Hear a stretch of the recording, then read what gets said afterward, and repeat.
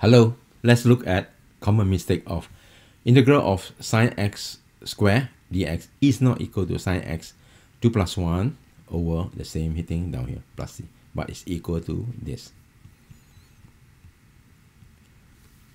Notice that this is with respect to x. Therefore, this is wrong. But with respect to sine x, if we put replace it with sine x, then this thing is equal to sine x 2 plus 1 over 2 plus 1 plus c or equal to 1 third sine cube x plus c. Done. Thank you for watching. Hope video is informative and helpful. Before you go, make sure you subscribe, share, comment, and don't forget to hit or smash the like button.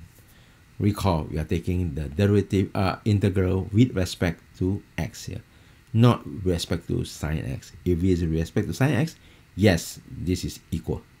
Sine x, 2 plus 1 over 2 plus 1 plus c. Done. See you.